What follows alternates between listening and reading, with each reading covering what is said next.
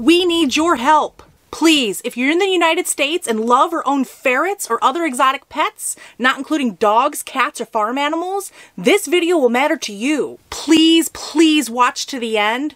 After I explain everything, I'm going to explain what you can do to help. On February 4th, the U.S. House of Representatives passed the America Competes Act. In this, there is a portion that can stop ferrets and other exotic pets from crossing state lines. So what does this mean?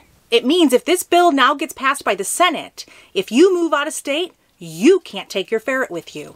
This means you can't take your ferret out of state for veterinary care or specialists. And this directly will affect people like us who travel with their ferrets because our ferrets will no longer be able to cross state lines with us. While a lot of these things may not seem important to a lot of people if you never plan on moving out of state, but this may affect whether or not you'll be able to own ferrets in the future.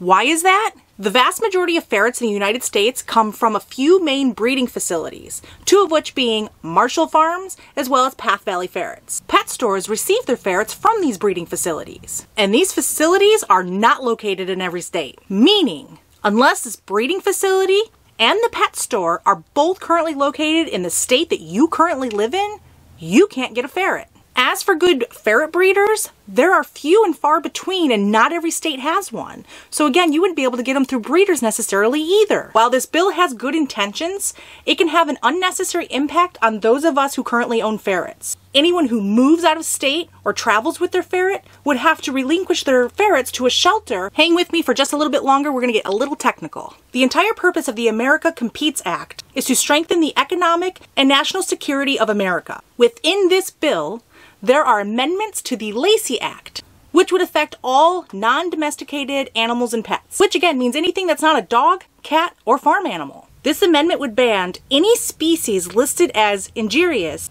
from crossing state borders. This means species that can cause harm to the environment, industry, and health. While it may not seem like ferrets will fit this description, they're already legal in the entire state of California, the state of Hawaii, and even in certain cities like New York City. Since this bill is federal, so like for the whole country, they can take the stance that ferrets are considered injurious to these specific states as part of the reasoning against ferrets. There's also a part that would allow U.S. Fish and Wildlife Services to add a species not listed as injurious to the injurious listings immediately after just adding it to the Federal Register, meaning there would be no public input or advance notice for that species. So what can you do to help? This may be scary for a lot of people, but the best way you can help is by contacting your senators. I want to share something a little embarrassing about myself.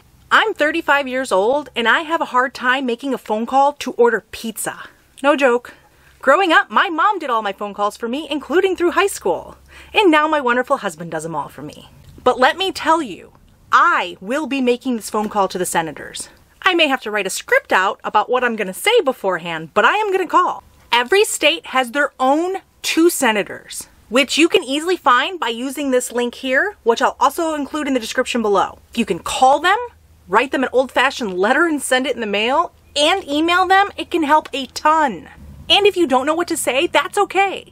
I'm going to link a wonderful site by the USARK or United States Association of Reptile Keepers, which actually has scripts on what you can say on the phone, as well as a sample letter that you can use. Of course, personalizing things is nice, but it's not necessary. We do not want to be rude, but civil and kind and just stick to the facts, including things like the fact that all the pet stores who get ferrets get ferrets who are already neutered before they ever reach the pet store. Even getting from breeders, breeders usually will have a contract and in that contract with their ferrets, it usually will state that you actually have to get your ferret neutered by a certain age. Meaning, if a ferret does escape into the wild and survive, it's not like they're reproducing and colonizing. Again, you can help by contacting your senators and even just by sharing videos like this one to anyone and everyone who might be affected by it. You don't even have to share my video. There's some other great YouTubers who did similar videos, including Tyler Rugge from his channel Tyler Rugge, as well as Courtney from The Trained Ferret. And I'll link those videos down below in case you want to see their take on this topic as well. Sharing any of these videos definitely can help. So please, please help in any way you can so we can keep having our furry little noodles as pets. Thanks for watching.